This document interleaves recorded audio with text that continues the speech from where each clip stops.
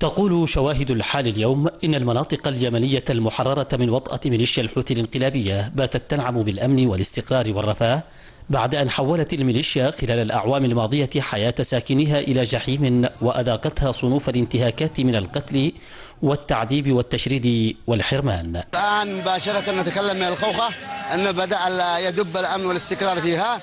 ونرجو من التحالف العربي كذا السعودي أن يواصل التحرير. كما سمعنا أخبارا يعني مسرة البارحة بأنه قد تم تحرير منطقة التحيتة. الشغل والله البحر الأمان الحمد لله. واختلاف ما بين الآن والحوثاء. والحمد لله نشتغل بأمان. والله لك الحمد.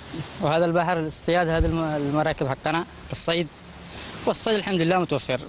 ولسان حالهم من لا يشكر الناس لا يشكر الله. يثمن أبناء الساحل الغربي عاليا الموقف العروبي التاريخي والمشرف الذي قام به التحالف العربي في خوض معركة اليمنيين ضد الانقلاب الحوثي ويشيدون على وجه الخصوص بالدور الإنساني الكبير الذي تقدمه دولة الإمارات على الدوام في تطبيع الحياة ومعالجة الأضرار الإنسانية بعد الحرب في دور لا يقل شأنا عن معارك التحرير. هناك معركة كبرى وهي معركة إنسانية وأخلاقية تتعلق بمسألة توفير المواد الغذائية والإغاثات والأدوية وكل متطلبات الحياة للإنسان ابن تهامة الذي شردته هذه الميليشيات من منزله. الأمانة نحن نقول بصريح العبارة إن خلفنا أشقائنا إخواننا الإماراتيين والتحالف العربي سند لنا وقوة وعون لنخوض هذه المعركة. نشكر قوات التحالف العربي والقوات الوطنية في التصدي ووقوفها الحازم ضد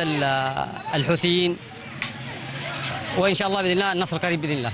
هذه الصور التي تدب بالحياة من جديد. نقلناها من واقع مديرية الخوخة أولى مديريات محافظة الحديدة التي عادت لحضن الشرعية. تبدو الحياة هنا في مركز مديرية التحيتة المحررة وفي غيرها من المحافظات والمناطق المحررة بشكل مختلف عما كانت عليه سابقا حين كانت ترزأ تحت وطأة الميليشيا الانقلابية.